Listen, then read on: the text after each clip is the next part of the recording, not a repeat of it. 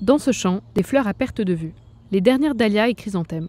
Des fleurs de saison qui ont poussé au rythme de la nature. Il y a trois ans, en plus de son activité de graphiste, Dorothée se lance dans la production éco-responsable de fleurs.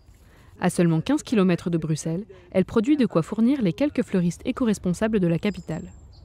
Donc ici, c'est un champ où je produis évidemment de manière tout à fait, euh, tout à fait naturelle. L'objectif, c'est de faire ça juste euh, la belle saison et pas commencer à mettre des serres, chauffer, euh, utiliser de, l'électricité pour, pour, produire des fleurs. Je pense que les gens ne sont pas encore suffisamment au courant de, de l'impact de la fleur traditionnelle hein, sur, sur, sur, le marché, sur, sur, la santé aussi.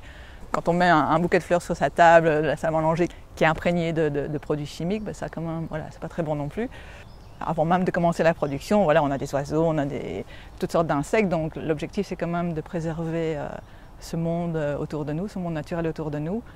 Changement d'ambiance. Dans ce hangar, des fleurs importées du monde entier, emballées dans du plastique. On y retrouve toutes les variétés de fleurs, et ce, toute l'année. À l'image des tomates que l'on consomme en plein mois de décembre, ici ce sont les roses, les tulipes ou les orchidées, que l'on peut retrouver chez son fleuriste, même en hiver. Est-ce que je vous fais un assortiment de dahlias? Nous avons rencontré Hélène, gérante d'une fleuristerie éco-responsable située à Ixelles. Elle propose des fleurs fraîches de saison, notamment celles cultivées par Dorothée. Je fais hyper attention à la, la provenance de mes fleurs. Euh, au moment, donc la, provenance pour moi, elles sont 100% belges ici. Euh, au moment auquel elles arrivent, donc 100% de saison aussi, pas de serre chauffée, pas d'avion. Nos fleurs ne sont pas traitées, du coup, euh, on peut les mettre dans le compost. Ce qui n'est pas le cas des fleurs normales de chez le fleuriste, qu'on va mettre dans le sac blanc parce qu'elles sont juste remplies de, de, produits chimiques. Les miennes sont 100% naturelles, donc elles peuvent finir au compost et ça fait le cycle de la vie.